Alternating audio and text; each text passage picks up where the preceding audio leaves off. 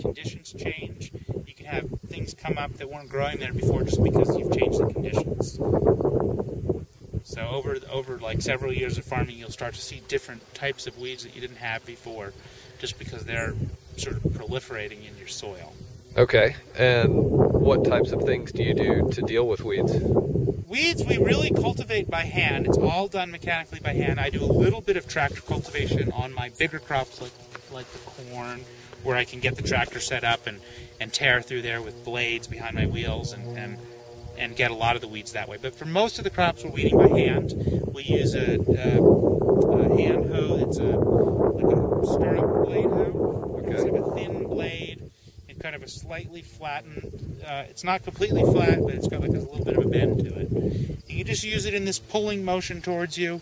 Um, the biggest thing that I've found about weeding is that the timing is really critical. You have to weed before the weeds get too big, or you wind up doing a lot more work. Um, and so, getting to the weeds at just the right point is really important in terms of being efficient. Uh, also, the moisture level of the soil is really important when you're weeding. So, in our climate where it's dry and we can control the moisture level, you know, I try to make sure that the soil that we're we're cultivating, hoeing, um, is not soaking wet because it'll just the mud will just clog up your tool. You also don't want it to be super super dry because the soil just gets hard when it's dry. But it's got to be kind of somewhere in between, a little bit of moisture. And then right after we cultivate, we want the weeds that have been cut up to just bake in the sun, so we don't want to irrigate for another day or two after we weed Okay. and then we can start to irrigate again. Um, you know, where you're where you're in a climate where you're relying on rain, you, you have to really like be on top of okay, like today's the day we've got to weed today because the conditions are right. So the the weeding is most effective when the conditions are are perfect. The the weeds are at the right height, the moisture level's right. Um, so to me, being really successful about weeding is just keeping at it all season, kind of starting early. I start when the weeds are just like tiny, tiny weeds and you can barely see them, and we just start. And it's very quick, like you just weed a whole bed in almost no time because there's not much. You don't even see much, and it's very quick, but but still it makes a difference. Um, so I just kind of try to start early and, and stay on top of it. How often do you weed? Well, you know, it's it, it's kind of like a part of our season. Like early in the season, we're we're doing greenhouse work and field prep work. Then we're getting to planting big time, and usually by the middle of May, we're almost done with our planting and we're really getting into weeding. And then we have a period of about like a month and a half where that's like all we do. Uh, and I hire a crew. I bring people in to help us with weeding because it's a big labor need that we suddenly have. Um, and then it kind of goes on. You know, it's, it kind of trickles in, then it gets really big, and then it kind of goes on for almost the rest of the season. It kind of slows down towards the end because we stop weeding certain crops, and other crops we have to weed again, or maybe you know a second or third time. Okay, and what do we have here? These are artichokes. This is the rest of the artichokes. They're really kind of finishing up. Here's the broccoli. Got some wild turkeys out there. I don't know if you can see the turkeys. Oh yeah. They like to eat the bugs too. And they don't tromp on the crops too bad, huh? No, we, we did notice some damage in our lettuces this year, but not too much. They, they, they really move quite a bit. They don't they don't tend to stop and you know do too much con, uh, concentrated damage. And how many turkeys do you have out here? I have no idea. There are several groups. They're wild. Uh, probably 50.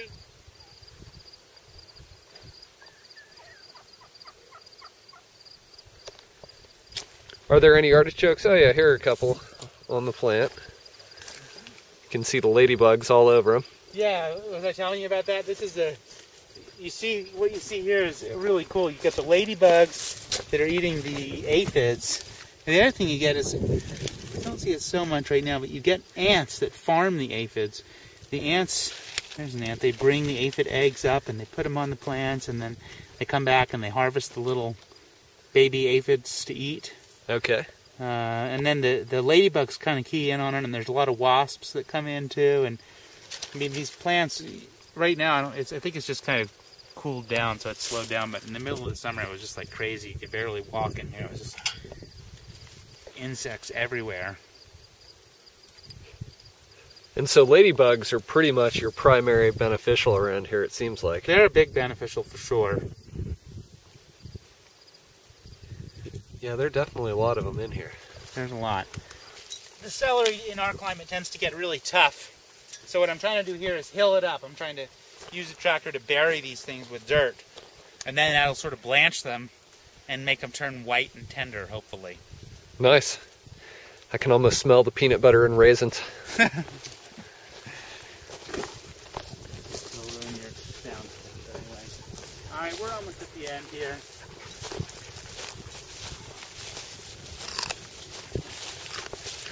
Mm, it's good. Talk a little bit about drip tape.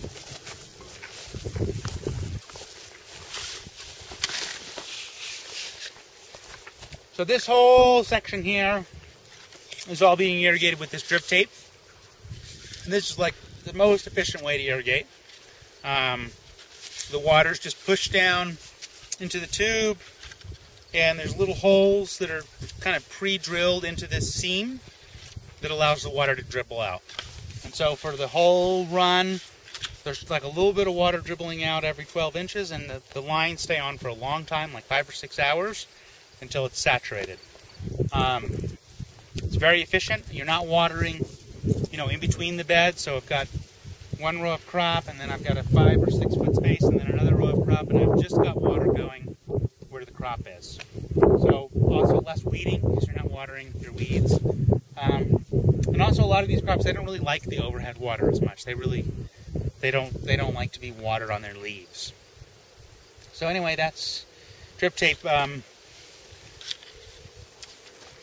you know, I mean, just irrigation is just a huge thing out here in the desert. So I don't know. It just probably doesn't apply to other places where it rains all the time. But for us, you know, that's a big technological innovation.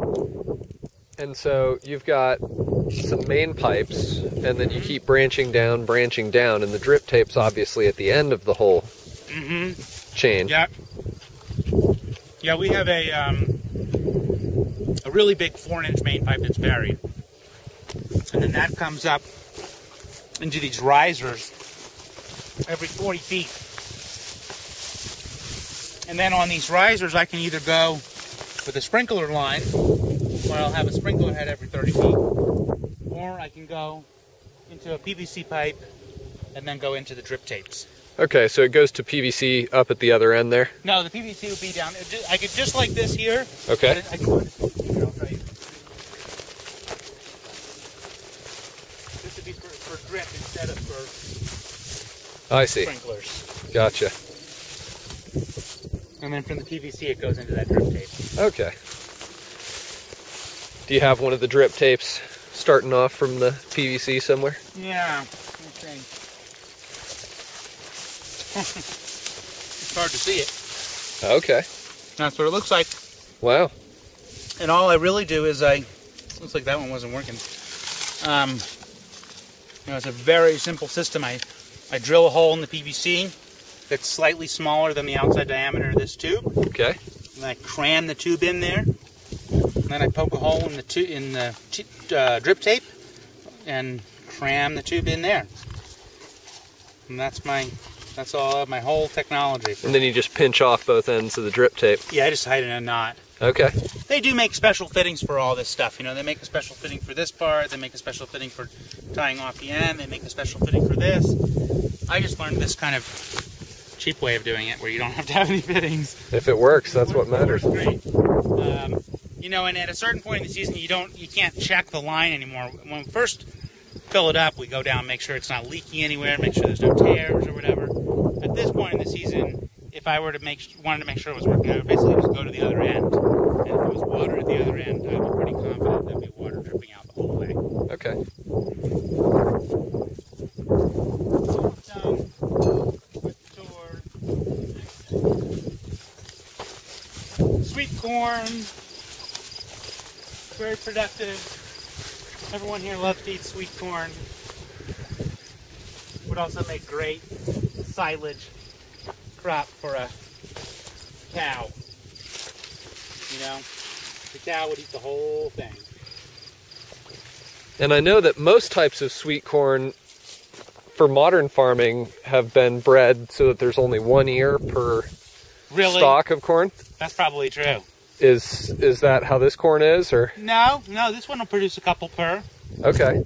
hmm And what variety of corn is this? Do you know? one's called Delectable. Okay, I mean, it is a hybrid, um, but it's not like genetically modified. It's just a cross Mhm. between two types. Um, carrots, oh yeah, some sunflowers. The sunflowers are really uh, just for selling for cut flowers. I've got a nice fall crop of carrots here. And we're just kind of picking at those. They'll go for a couple weeks, a few weeks maybe. A lot of different varieties. Oops, I'm in your light. yeah. Let's gonna try and pull one out I here. know, I see you. You might just pull the top. Here, here you go. Okay, These are the little guys. These are cute. These are the little like thumbelinas. nice. But some of them are bigger.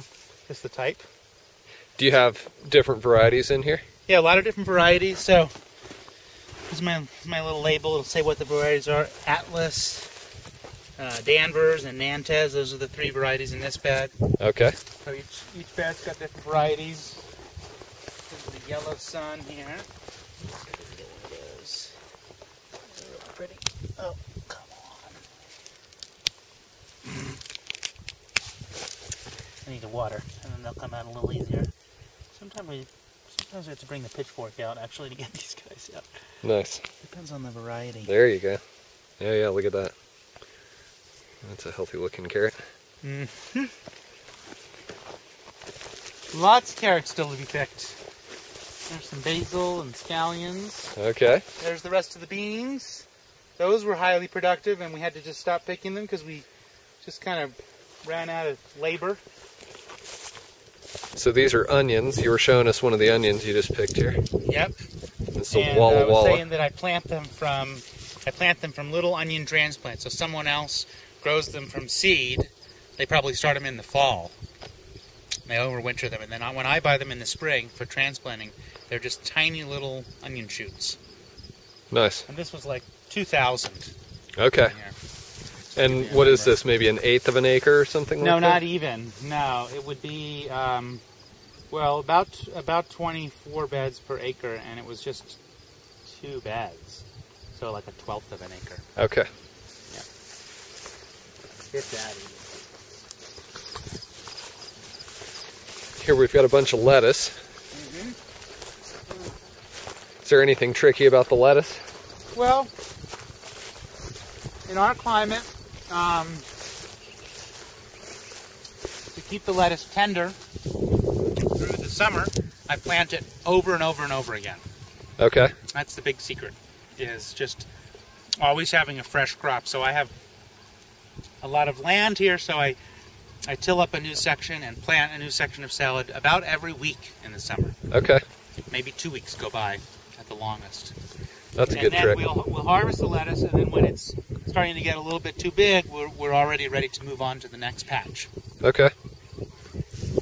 And so your greenhouse is mainly for starting stuff? Well, we've got a few. We've got one greenhouse that's heated, and that'll be, we'll fire that up in the end of February, beginning of March, and that's for growing our our long season crops like tomatoes and peppers and eggplants that need a really long growing season, so we have to start those really early. Okay.